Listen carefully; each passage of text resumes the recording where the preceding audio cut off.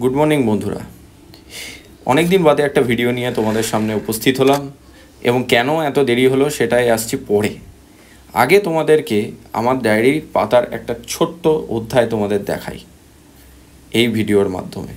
তাই stay tuned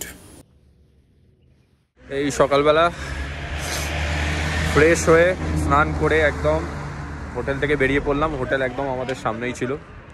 আর আমরা বেরিয়েই কি ভিউ পেলাম তোমাদের দেখাই। যদি তোমাদের মনে না থাকে আমরা গতকাল প্লেন করে শ্রীনগরে নেমেছিলাম আর আজ হোটেল রুম থেকে বেরিয়ে এই দৃশ্য আমরা দেখতে পেলাম। এরপর আমরা কোথায় যাচ্ছি? আমাদের ভিডিওতে তোমরা থাকো তাহলে তোমরা বুঝতে পারবে।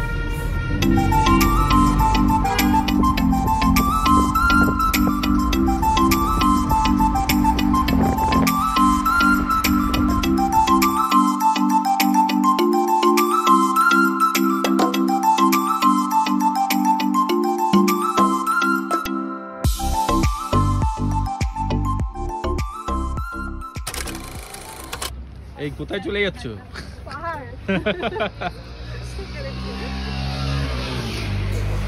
যদি তোমরা বুঝতে পেরেছ যে আমরা কোথায় এসেছি তাহলে বলো তো দেখি এই ওয়াটারফলসটার নাম কি? যারা জানো তারা অবশ্যই কমেন্ট সেকশনে একবার কমেন্ট করে দাও।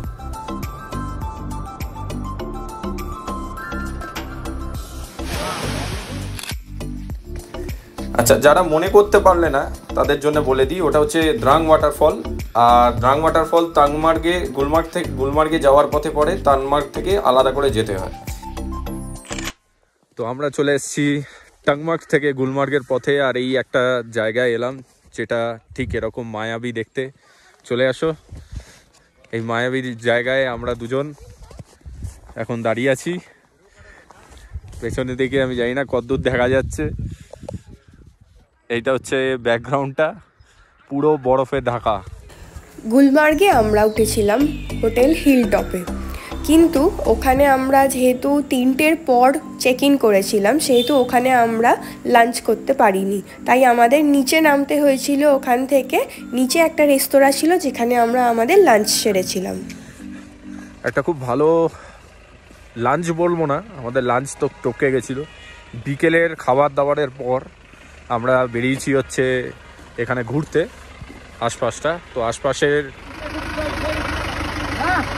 সামনে তোমরা যেটা দেখছ, এটা হচ্ছে গন্ডোলার যে জায়গা, যেখান থেকে গন্ডোলা রাইডস যে উঠতে হয়, সেটা হচ্ছে তোমরা দেখতেই পাচ্ছ এখানে গন্ডোলারগুলো চলছে।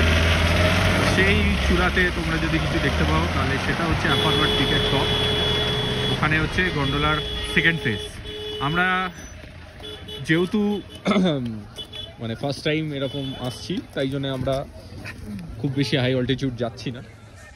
আমরা মোস্টলি ফার্স্ট ফেস অবধি গিয়েই আমরা ফিরে আসব। সোফার আমার তো খুব ভালো লেগেছে। আর তোমার কি বলো?